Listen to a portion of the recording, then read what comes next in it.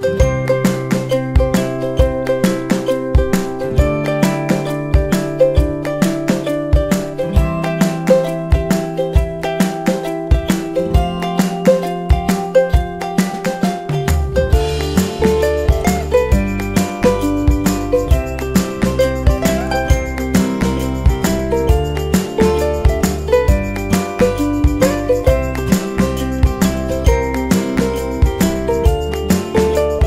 Nazywam się Żaneta Radecka.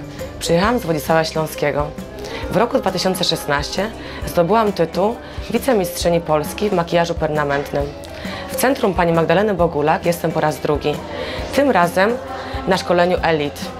Pogłębiam tutaj tajniki makijażu permanentnego oraz trudnych makijaży marki Long Time Liner. Zapraszam do mojego miasta Żaneta Radecka, Organika, Wodzisław Śląski.